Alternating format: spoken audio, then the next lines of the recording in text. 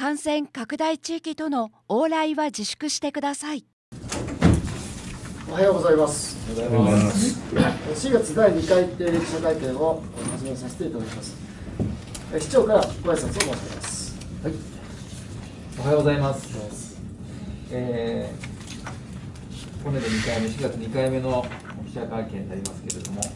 え今日は最初最初にですね、えー人口1万人当たりの焼肉店舗日本一についてということで、えー、代表の吉川さんに来ていただいてますので、そちらの発表事項からさせていただきたいと思います。よろしくお願いします。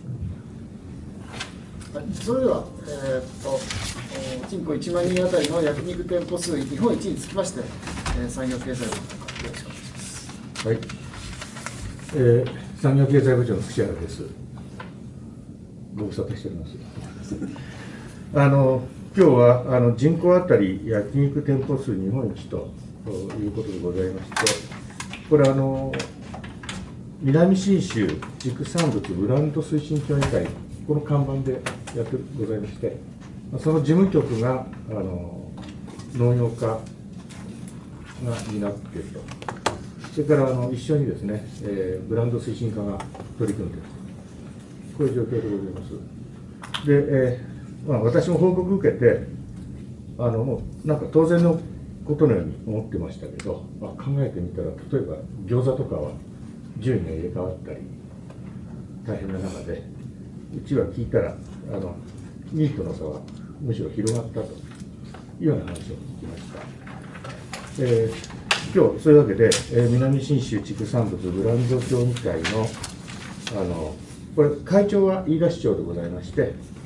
えー、副会長があの3匹の古田古田さんで、それからもう一方副会長があの J のあの寺澤梅吉さんでございますけど、あのその下の幹事という立場でございまして、あの飯田食肉組合の組合長でもございます、この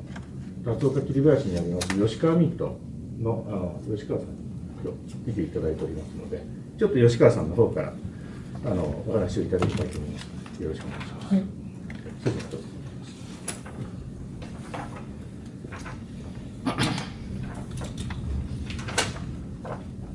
えー、南信州ブランド推進協議会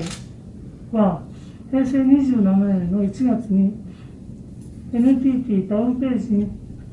掲載されている全国仕事の焼肉店舗数から人口1万人当たりの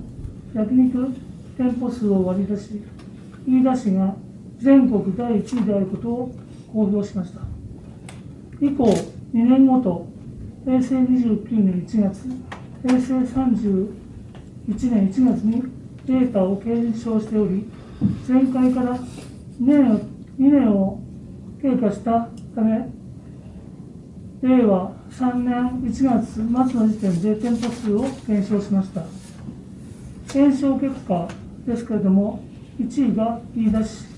2位が沖縄県石垣市3位が北海道の北見になりました。焼肉ロックフェスの開催や飯田焼肉大使日露市の活動をはじめとするさまざまな取り組みにより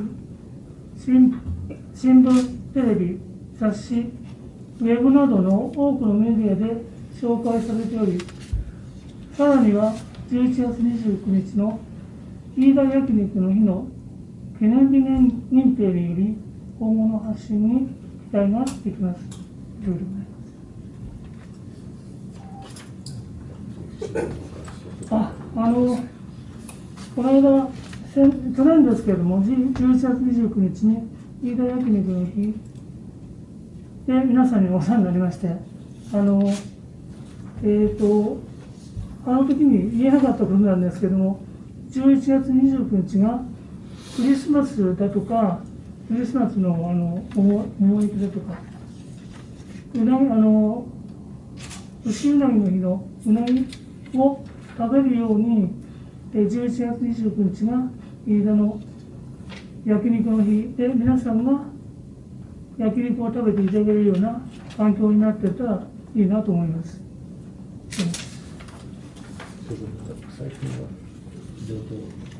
あ最近の状況ですけれども、えー、とコロナ禍でありまして、えー1月、2月まではちょっと低迷してました、これで3月になってからは、あの飯田市さんからいただいた、えー支え合いの件、まあ、これは4月からでしたけれども、テイクアウト。の件あの件がものすごく好評で、えー、肉屋さんはまだ切れなかったんですけれども、私たちが納めてるあの居酒屋さんだとか、飲食店さんにはしっかりあのテイクアウトよテイクアウトの予約が入ったみたいで、えー話を聞きますと、本入はできないほどテイクアウトが多くて、えー忙しかった。ということで、おかげさまであの私たちのお店の方も3月は、えー前年よりちょっと良かったかな、でもあの前年っていうのは、あの去年の傾向あのコロナが始まってからの落とした数字でありますので、まあ、前年並みぐらいで収まってということであります。以上ありがとうございましたそれでは市長さんございますまずはこの件で、この件ではい、あそうですかお願いいただければはい、それじゃあ、えーっと、よろしいですか。はい。えーっと、ほただいまあ発表を申し上げましたあ件につきまして、えーご質問等あればお出しください。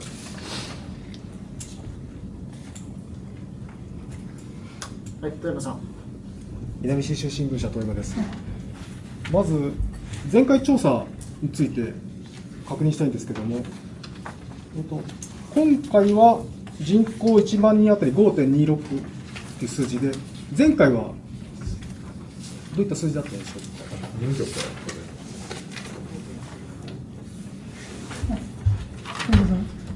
5.07です。で、前回2位はどこだ前回は北海道の北見市でしあ、北見市が前た。回、はい、だからあの2位と3位が入れ替わって入れ替わった。で、2位の、2位との差も広がったっていうのが今回の特徴。っていうことあそうですね、これ見ますと、そうです、そうですね。それ以外に何か特徴ってございますか？それ以外の特徴、あとどうぞすみません、あの農業聞き出し農業型生産振興係の木田さんと申します。お世話になります。あの前回ですね、あの今回飯田市53店舗で。うんと5.26というところでありまして、あの前回なんですけれども、飯田市52店舗で5.07というところでありました。で2位なんですけれども、今回、沖縄石垣市が5.02ということなんですが、前回、北海道北見市が60店舗で5.05であります。で3位なんですが、今回、北見市が4.80でありますが、前回は沖縄県の石垣市が23店舗で4.66というところであります。あの4位以下についてもまたあの皆さんの方にお渡しできたらとは思うんですけれども、まあ、あの特徴としましては2位のあの沖縄県の石垣市があの増えているというところもあるんですがあの3位以下あの軒並みあのこういった状況なあのコロナ禍の状況であの減ってるっていうところはあるんですが飯田市についてもこういった中でも前回52店舗から53店舗ということで増えているっていうようなところが特徴の一つかなと思っております。はい。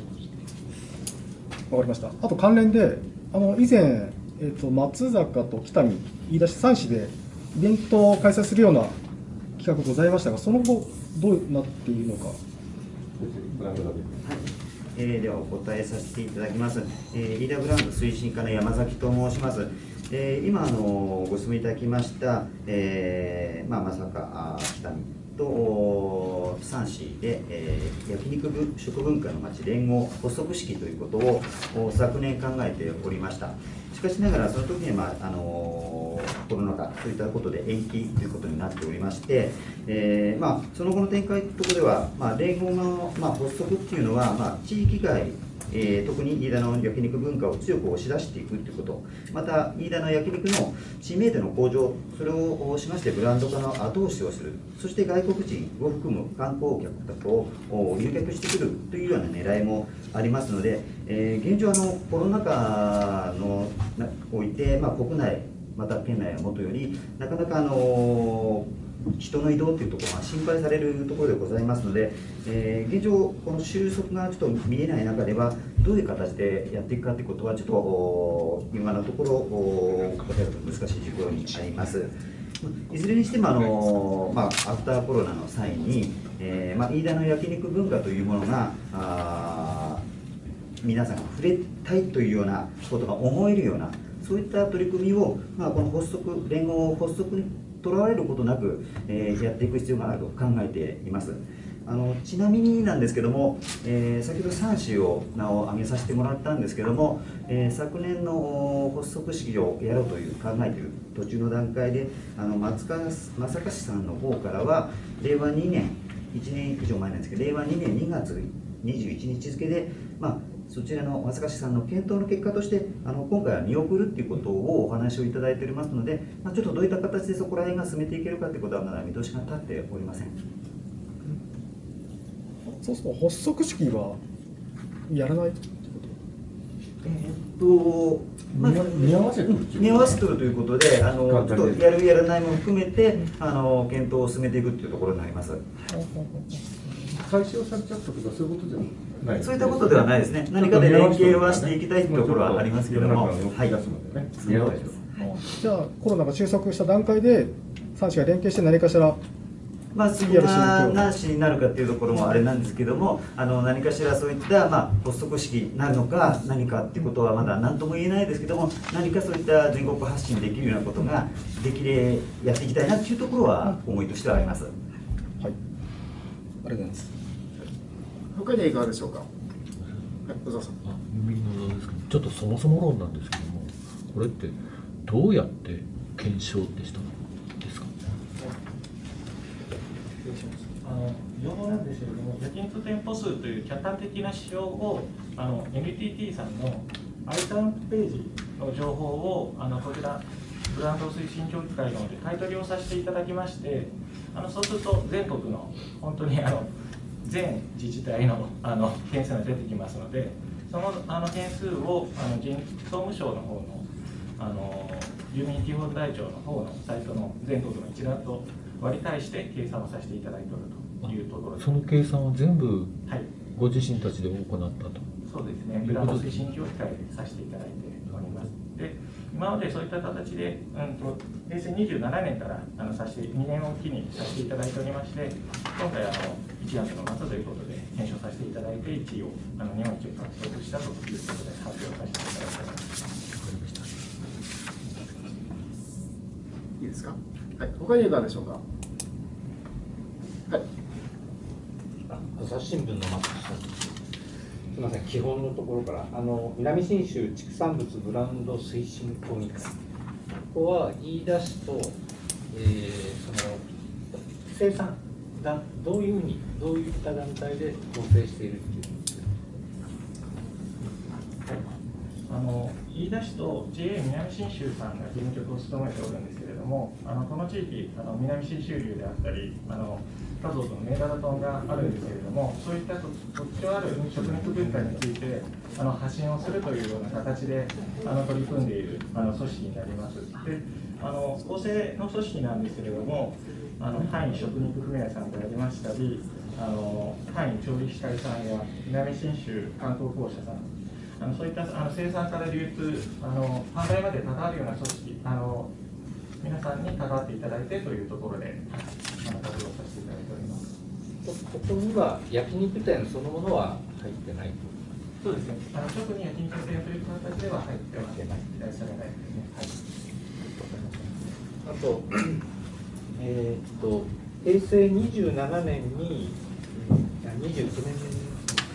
7年、これが最初ですか、提供を出したの。これが最初です。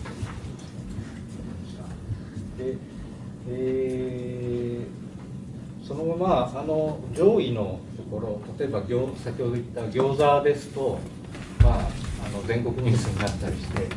一喜一憂してる様子が流れるわけですけども、あの北見市とか石垣市とかその1位というようなところを意識してお互いに何かこうライバル意識というのはあるんでしょうかどその辺の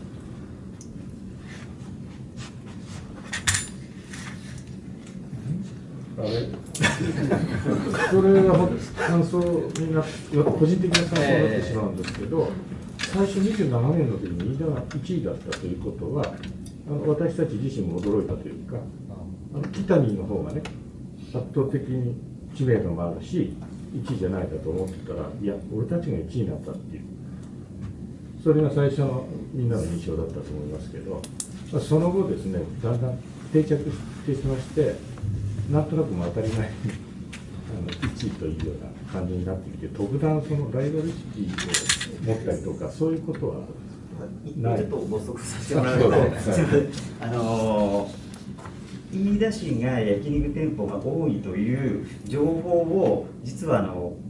くれたところが北見市であったっていうところが出発点にちょっとありましてたまたまそちらに訪れたものがあの飯田市多いんだよっていう情報を掴んでおってそう考えるとあの北見市さんの方ではあのライバル視っていうのを少なからず持ってる方はいらっしゃるのかもしれないってことは可能性として言えるところはあります。はい、あの補足的になってしまありがいますけどとうござい。ます。ありがとうございます。あのそういう情報がとっても欲しいんですけど、あのその情報。今のちょちょっと申し上げません、あの間違えたということないので、え実は24年、平成24年の1月に、北海道新聞で、その飯田市の焼肉日本一というのが取り上げた、られたということなんですよね。で、それについて、あの北見市ではなくて、その隣の美幌町の職員の方あの方職員の方からあのこちらの方にそういった情報が入ってっていうことで始まったというところであります。すみません。あ 隣町から飯田市にそうですね。あのそうですね。あの人事のあの研修で言っているようなそういったつながりの中でそういった情報がうちの方に入ってきてっていうところで、そこからはいあの始まったっていうことで。北見市っていうとジンギスカンですかね。でもないんですか。ジンギスカンえっとジンギスカン、そうですね、あの聞いているのは、あのーまあ新鮮な、ね、生肉を食べるっていう文化があるっていうことと、生だれって言って、あの果物とかその原料を加熱調理せずつけるタレ、そういったものを売りにしているということで聞いております。ちょっとその点しかちょっと言えないですけど、お待ちしてないです。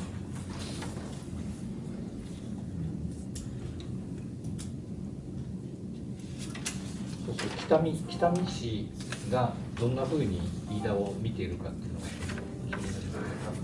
の個人的な感想ですけれども、はい北見の方も飯田の焼肉日本一っていうのは、もうあのさっき部長もおっしゃられましたけれども、そういった検証をしているっていうことがありますので、そういった形では思ってはいただいておるのかなとは思います。あともし分かればでいいんですけど、あのもう一枚の紙にコンビニより焼肉店の方が多い。って、これも聞いたことあるんですけど、コンビニ店数って今、ここに、一応ですね、あのコンビニも上記にあるので、なんとも言えないです今現在で大体50店舗ぐらいあるのかなと思っております。で、あのアイターンページの情報からは、登録している店舗は53店舗なんですけれども、あの実際、アイターンページに登録されてない焼肉店というのもありまして、そういったところの情報もこちらのであの拾っておりまして、大体飯田市の方で今、60店舗少しあの焼肉店あるっていう状況の中で、まあ、50と60なのであの、コンビニより多いということで、あの入れさせていただいております。はい、ありがとう。よろしいですか？はい。他にいかがでしょうか？はい、平子さん。ちょっとあ中日新聞の寺岡です。今の関係でその実際には60件弱ちょっとあるっていうこの焼肉研究会調べってあるんですけど、この焼肉研究会っていうのは飯田飯田なんですか？あの焼肉研究会といいまして、まあ、あの市民の有志の皆さんがあの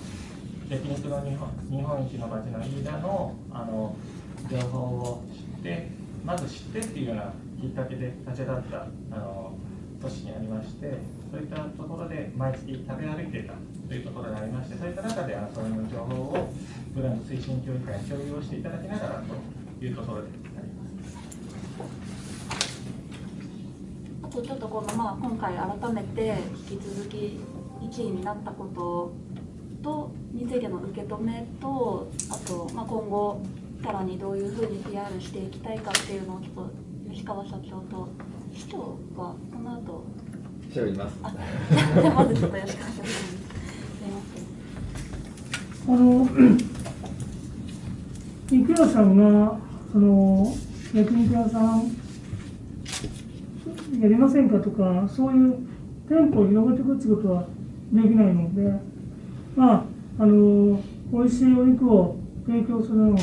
我々の仕事でありますので、あの、今、美味しい肉っと和牛っていう話になってくるんですけれども、今ちょっと高騰しやすくて、えーっと、和牛の元牛ですけれども、子牛が、えー、虚勢で90万、メスで80万くらい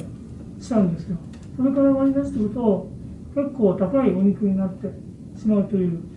ところがありまして、普通の焼肉屋さんにその和牛を打つと、ある程度特定な、特定決まったというか、結構ハイグレードの焼肉屋さんでないと扱えないっていうところがあるので、うん、難しい点はあるんですけれども、まあ、これから飯田の焼肉店を増やすんじゃなくて、焼肉を食べてもらう肉の量で、あの肉屋さんを貢献したいなというふうに思います。あのいろいろとその流通の中であの美味しいところがあるかもしれないんで、そういうのがあった時には、お客さんにあのたまたまっつってあの口コミで、大体あの肉屋さんっていうのは対面系対面でやってるんです。だからあの会議でくれたお客さんとお話しする機会もっと多いもんで、それでたまたま今日はどうですか？っていうようなことですね、あの進めて、まあ、飯田市のその消費量、肉の消費量で貢献できたらなと、そういうふうに思います。今回調べて1位になったっていうのを受けて吉川社長どういうふうに率直にご感あの本当裏話なんですけれども、あのちょっと危なかったっていうところがあったんです。それで、あのある人が一生懸命その掘り起こしてっていう話を聞いております。掘り起こしたっていうのはあのその登録されてないお店をどうかあの登録してくださいっていうのが、まあ、それが去年、去年前回より1店舗増かな。そうだよね。まあ、たまたま1店舗だけ増えて、石垣市が少なくて、まあ、これだけの差がついた。だから、あの、飯田市内、あの見ていくと、本当、焼肉店やってるんだけど、看板を出さずにというか、近所の人たちが来てくれればいいわっていうようなお店もあって、電話帳には載せないっていうお店もあるという、思います。ありがとうございます他にはいかがですかじゃあ僕はいあのまあ日本一であるっていうのはまあねあのそれで情報発信の力があるということですので喜ばしいなと思っていますでまあこれは焼肉の店舗数が、まあ、人口あたりで一番だ、まあ、そういうことです。ですけれども飯田の特徴っていうのはまあその、えー出前焼肉があったりねそういうまあ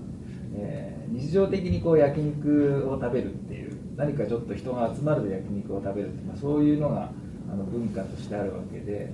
まあ、ここがやっぱり店舗数だけじゃなくて飯田市の焼肉の特徴だと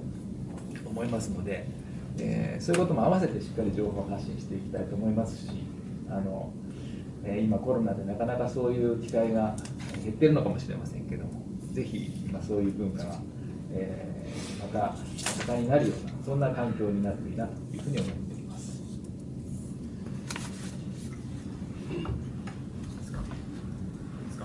すみません、あのケーブルテレビですけど、あのいろいろ説があるんですけど、そもそもなんで飯田に焼肉店が多いかっていう、なんかその協議会としてのこう見解とかあったりするんですかね？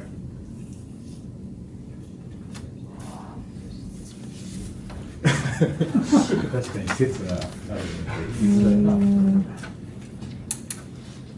あの桜ダムを作った時にあの外朝鮮人かな労働者が来てっていうのもあってその人たちは地獄で焼肉ってすぐすごくやるじゃないですかそれをもうこっち来て、えー作業の合間に仕事の合間というかその仕事仕事に来たついでについでにじゃないな仕事に来て、まあ、焼肉食べたいなっていう感じで、あのそこらにある肉を、だけどあの当時は、えっ、と、言い出しもいな、そんなにその畜産っていうのは発達してなくて、私のそれこそ小学校自分の頃は、豚肉っていうと、冷凍のスライスしたパック肉しか、まあ、スーパーもなかったんですよ。近所の個人店に置いてあって、あと、味付けのマトンこれはあの自分家の筋を、まあ、つぶ潰して、まあ、本当はやっちゃいけないことなんですけども食べておったそれをその昔ながらから冷凍技術がなく冷蔵施設もなくだったからあの味付けにして置いといてそれを焼いて食べたそれでだんだんだんだん焼肉うまいもんじゃうまいものですうまい、美味しいですねっていう感じで、あの増えていったんじゃないかなというふうに、あの個人的に推測するんですけども。あと、私もあの肉屋になって浅いもんですから、それこそ今日ここに何十年ってやってるお肉屋さんが来れば、その焼肉文化、もっとお話ができたかもしれません。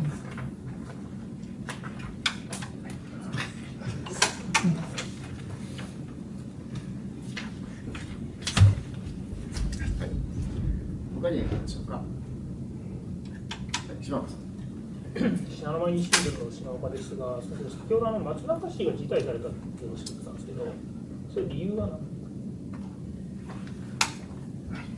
えー、と細かな正直理由っていうのはお聞きができてないんですけれどもお市の見解として、えーまあ、その時の発足についてはあの見送りをさせていただくっていうことで聞いております。はいあなんか産地でやるっていう時は、当初あのまさかの観光協会さんの方とそこら辺をよく詰めておったんですけどもそこの中であの再度お市の方のお総体としての意見を調整を図られたようでそれにおいてあの見送るという見解になっていたということで聞いております。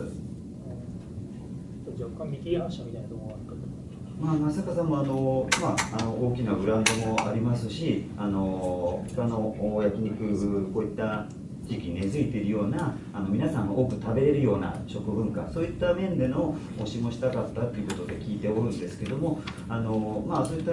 何かの事情の中でとお今回見送られさせてもらうということの話をいただきました。でえっと、えっと、最初、飯田市と北見と松山ですね、だからそこは何市になるかわかんないそうですね。現状としてはどの規模になるということはお答えができないですね。ひょっとしたら石垣市が入るかもみたいなことあの可能性として言っていけばあのゼロではないとは思いますけどもそこもちょっと何とも私も今お答えれる状況になりありません。申し訳ない。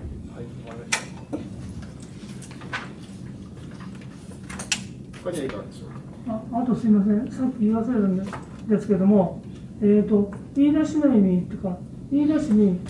土壌土壌土壌があった、ずっと何、えー、とそうか何年前でしたっけ、亡くなったの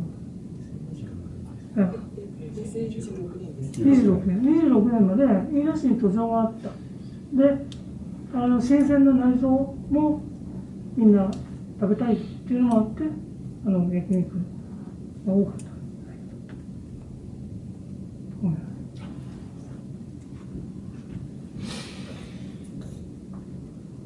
ますよろしいですかね。よ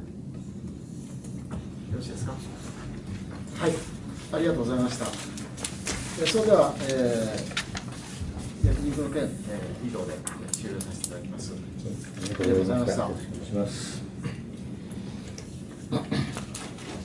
では私の方からいくつか、えー、とお話をしたいと思いますけれども、お願いします。まず一つはあの参議院選挙、参議院の補欠選挙と、まあ、市議会議員選挙、まあ、25日の投票日となりますので、えー市民の皆さんにはぜひ必ず投票していただきたいと思うわけですけれども、えー前日までの期日前投票、4月22日までの期日前投票は、えー参議院補欠選挙の方で8371名、それから市議会議員選挙で7994名ということになっております。え飯田市内の、ま、参議院の補欠選挙の期日前投票については、市議選を待ってということになっていたと思いますので、え出足はあまり良くなかったわけですけれども、え市議会議員選挙の期日前投票が始まってから、ま、非常に、え数が伸びているという状況です。え期日前投票、え市役所の会場は明日の24日土曜日の午後8時まで投票できますけれども、えー辰岡公民館、井原公民館、上本公民館については本日23日金曜日の午後8時まで、そして上村公民館、え南信濃の地域交流センターは本日23日の午後6時までとなっていますので、市民の皆さんにはお気をつけいただきたいと思います。それからえ2つ目ですが、え新型コロナウイルス感染症についてえ申し上げます。まずゴールデンウィークを前にということですけれども、えー長野県内で昨日も55例の新規陽性者が確認されたという公表がありましたけれども、え全国的にも東京、大阪、京都、兵庫の4都府県に緊急事態宣言が発出されようかという、まさに第4波というべき状況になっているというふうに認識をしております。えこれからゴールデンウィークを迎えるわけですけれども、え緊急事態宣言が出されたとしても、え人の動きはどうしてもあるというふうに、安倍知事からも5月9日までを感染対策強化期間とする、まあ、ゴールデンウィークを迎えるにあたっての時事メッセージということで4月19日に出されておりますけれども、えー私の方からも週明けに、えー市民の皆さんに向けたメッセージを出すように今準備をしております。えー当地域はおかげさまで感染状況落ち着いておりますけれども、お気を緩めずにゴールデンウィークを迎えたいというふうに考えております。それからワクチン接種につきましては、えー来週月曜日、4月26日から高齢者施設における先行接種が始まります。えー初日には6施設で計80名に接種する予定となっております。え集団接種の方は5月の14日から、あそれから医療機関における個別接種は5月17日からということで実施する予定になっております。えー今週月曜日19日から75歳以上の方に順次接種券を発送しておりますが、えー本日23日金曜日までに75歳以上の対象者の方にはすべて発送済みとなる予定でございます。えー65歳から74歳までの方の接種券の発送については6月以降となる見込みとなっております。なおあの、集団接種会場におけるシミュレーション、これを5月6日の木曜日午後2時から3時までの予定で実施するということになりました。まだ詳細決まっておりませんので、決まり次第お知らせしたいと思います。それからプレミアム割引券ですけれども、えーテイクアウト割引券につきましては、利用期間期間が4月末までとなっておりまして、えー残り1週間となりましたので、えお手元に残っている方にはぜひご活用をお願いしたいと思います。え報道の皆さんにもあの残り1週間ということで、PR をしていただけると助かります。それから今日4月23日から5月12日までは子どもの読書週間になっています。えー中央図書館、金井図書館、三里図書館ではお子様向けに図書館分類ビンゴというイベントを明日24日から5月30日までの期間で実施をすることになっています。また読書週間の期間の後にはなりますが、5月15日に図書中央図書館探検ツアーというのも行われます。えー、子どもも大人も活字離れが指摘をされておりますが、え、これを機会に親子で図書館に足を運んでいただいて、スマホやゲームを一時横に置いて本を読む時間を作っていただければというふうに思います。それからあの私の公約の中で、えー、地域別、業界別、年代別の少人数の懇談会を開催するということを申し上げておりましたけれども、えー、来月から、まあ、ふれあいトークと称して、えー、実行していきたいということで考えております。えー、あまりまあスタイルを固めずに、まあ、例えば、あの懇談会という形ばかりではなくて、活動の現場を見に行くとか、あるいは一緒に何か作業をするとか、まあ、そういったようなことも含めて、え市民の皆さんのもとに足を運んで、いろんなお話を伺う機会を作っていきたいというふうに考えております。当面1回目になるのが、5月8日に予定をしております、飯田市長の一日民生委員という取り組みがあるんですが、その中で上坂田の民生児童委員協議会の皆さんとの懇談を予定をしております。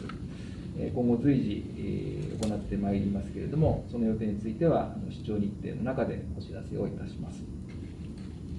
私の方からお話は以上であります。よろしくお願いいたします。えー、それではあのただいま市長の方から申し上げました事項をましてご質問とあれば話をお願いいたします。はい、市長品の前に新聞ですえっと、今、市長からも始まったあの選挙の話なんですが、はい、前回、市議選はあの57.95が投票率、はい、過去最低だったわけですね、ええ、今回、市長の試験でいいんですけど、どう見てますか、投票率がどうなる、どうなりそう？はい、あの今回は前回に増して、えー、3人、えー、落ちという激戦になりますので、えー、投票率が上がるというふうに期待をしておりますし、えー、参議院の補欠選挙も同時にあるということですので、私としてはま前回を上回る60%を超える投票率になることをぜひ期待したいと思います。まあ、参院選との相乗効果というのもあるんじゃないかと思いますね。はい、わ、はい、かりました。あともう一点、えっと、シミュレーション、あの集団接種接種のシミュレーションなんですが、はい、5月6日の14時から15時。はい、ということで、昨日あのそういう話になったということで、具体的に、えー、詳細を決めるのはこれからだということですので、とりあえずあの日程が決まったということで、今日お知らせしています。えー、詳細、またあの改めて、えー、お知らせして、えー、取材をお願いしたいと思います。これ、あの千葉さんでやるあそうですよ、はいわかりました。他にですか？あの先ほどお話ありました触れ合いと、はい、関係なんですが、はい、あの従来のまちづくり懇談会との違いっていうとどういった点になるんですか？はい、えっ、ー、と従来の市政婚についても、えっ、ー、とまあ少しスタイルを変えてやっていこうということで、えー先日あのまちづくり委員会の皆さんと、えー、日程を決めたところですけれども、まあ、これとは別にあの地域のちょっとした集まりでとかあるいは業界のちょっとした集まりでというようなことでお呼びいただければ、えー、そこに足を運んで、えー、まあ、1時間程度だと思いますけれども懇談する機会をできるだけ作っていきたいなと思います。そこには市長が行くのか、それとも幹部も皆さんえっと、私はもちろん行きますけれども、はいえ関係する部局長もあの同席させていただければということですけれども、まあ、先方のあの希望にできるだけ沿って公開非公開もあの先方の希望に沿ってやりたいと思ってます基本はあの公開であとは懇談内容についてもホームページ等でお知らせをするっていう形にしたいと思いますけれども、まあ、内容によっては非公開を希望される方もいらっしゃるかと思いますのでそれは先方の希望によってやっていきたい。あの先ほどお話しあった5月8日が第1回とい。うことだったんですが、それ以降の開催計画ももうございます？えー、と今、特に具体的になってないので、それ以降はまあ随時という。あれですか？市長と思いとすれば、この任期中に細かく全地区回るような。まあ全地区全地区っていうかあのこれまでなかなかあのそういう少少人数での講談の機会っていうのは少なかったかなと思いますのであのそういう形であの、えー、機会をできるだけ作るというふうに考えているわけですけども例えば、まあ、年代別とか業界別とかっていう形でお話が伺えるといいかなと思います。これを月何回ぐらいのペースでやっていってまあ、月によってだいぶ違う、議会のある月はなかなか難しいでしょうし、まあ、そうでない月は比較的数ができるかなと思いますけれども、まあ、できるだけたくさんやりたいなと。つまり細かいところなんですけど、はい、触れ合いトークはひらがなです。触れ合いあ触れ合いトーク、一応表記としては、触れ合いはひらがなで、トークがカタカナですかね。はいわかりました。ありがとうございます。他にがですか？はい、寺尾さん。今のふれあいトークの関連で、はい、まあ市長としては市民の皆さんからこうどういうお話を聞きたいなというふうに思っています。そうですね。あの例えば市政婚あるいはそのいろんな業界団体の総会というふうに呼ばれてお話をしたり、あるいはあのここに、えー、要望活動という形で市長室に来られたりっていう、まあ、そういう形でのこれまでご意見は伺い伺ってるわけですけれどもなかなかそういう形では拾えないような声があるんだろうと思います。まあ、本当はお一人お一人でもっていうのはあるんですけどなかなかそういうわけにもいかないので、えー、先ほど申し上げたように、まあ、比較的小規模の方々と少人数で、まあ、あいろんな本音のお話を利用できればなというふうに思います。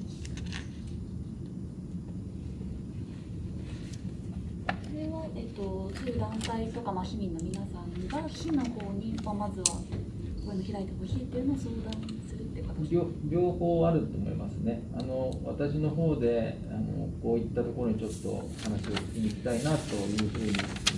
考えたときにはこちらからお願いして話を聞かせていただくということもあるでしょうしえー、話を聞いてほしいという話をいただければ、え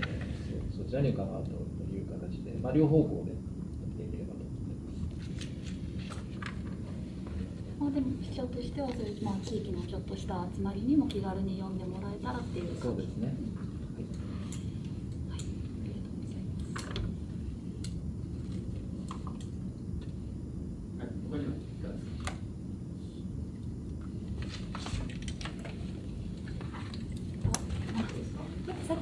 話の内容以外のことでも聞いても大丈夫ですか。はい、はい、どうぞ。すみません、あのこの間にコロナの専門家会議の中で、はい、あの、ゴールデンウィークのおけともの話が出たと思うんですけど、はい、その後あのメイフィルの楽団員さんへのワクチンあワクチンないよ。検査とか、はい、そういう状まあ、あとイベントこのままやるかどうかとかそういうの何か進展がありましたでしょうか？はい。えーと、実行委員会の方とですね、免疫ルとの間で、具体的にどういう検査をいつやるか、えー、それはあの、えー、団員ごとにこう表を作って、えー、考えているという、まあ、状況です。えー、定的に、えー、検査期間は休日のところはほとんどなので、えーまあ、簡易検査キットなども使いながら、えー、どうやってやるかということで今メビルと詰めているという状況ですで一方あの愛知県の感染状況が非常に厳しくなっているというのもあって、えー、最終的な実施の判断を迫られる場面もあのあるだろうということも想定しながら今、えー、調整をしているという段階です。例えばその受け止の、まあ、全部4日間のうちの比較的大きい人が集まりそうなイベントだけ例えば中止とか？ういう感じえ、っとですねここまであの具体的にどういうふうにするかっていう話はまだ私自身は聞いてないんですけれどもあのまあ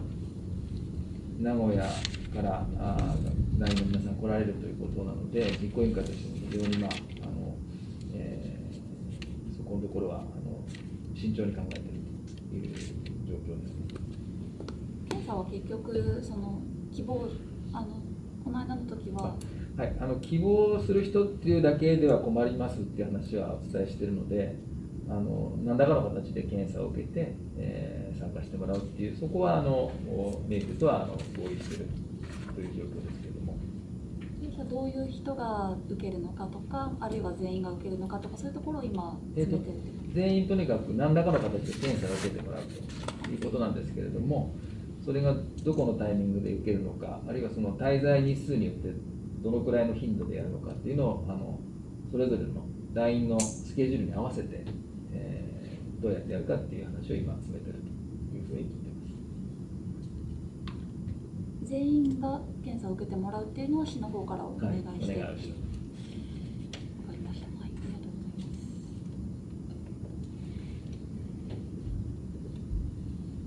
はい、ここにあります。はい、どうですか。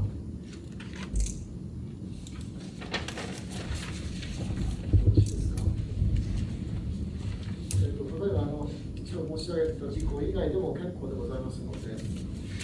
問があれば、してください。いいですかね。はい。ありがとうございます。えそれでは、以上をもちまして、えー、第2回記者会見終了させていただきます。ありがとうございました。ありがとうございました。市民の皆さんマスクをしたままでの会話をお願いします